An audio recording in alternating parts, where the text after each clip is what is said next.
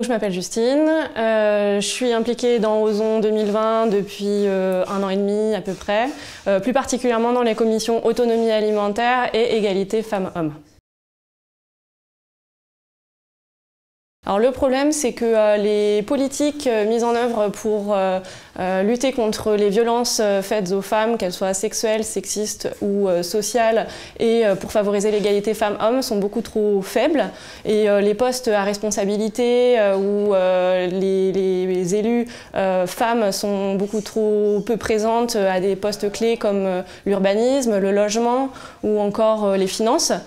et de fait, il en découle une répartition inégale des, financements publics. Euh, et, cela engendre aussi le fait qu'il y a une, absence de culture de l'égalité qui serait pourtant nécessaire dans la ville. Et en gros, ce sont les hommes euh, qui font, qui pensent euh, et qui conçoivent la ville. et de fait, la, ville est, beaucoup plus favorable aux usages masculins et ça commence d'ailleurs dès la, cour de récréation.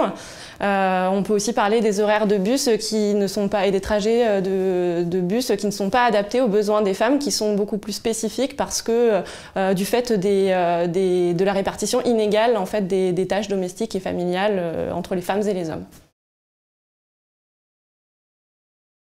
Ozon propose de redonner aux femmes euh, du pouvoir dans la ville, euh, de, pouvoir euh, se réapproprier l'espace public en participant à, des concertations et à, l'élaboration de, des projets de réaménagement de, l'espace public.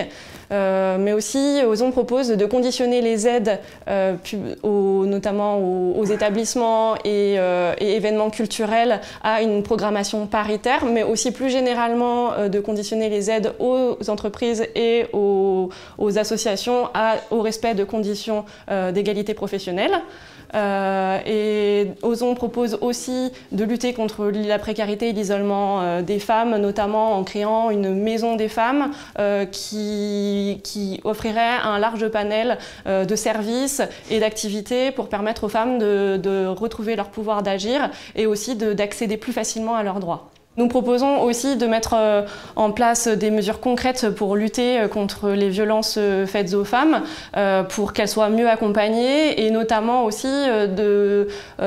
mettre en place un accès beaucoup plus facilité aux, hébergements d'urgence et aux solutions de logement un peu plus pérennes afin de protéger les femmes qui sont victimes de violences. Nous Causon propose une égalité radicale entre les femmes et les hommes en agissant au travers de chaque compétence de la commune et cela passe par le de porter un projet en rupture avec le libéralisme dont les femmes sont les premières victimes.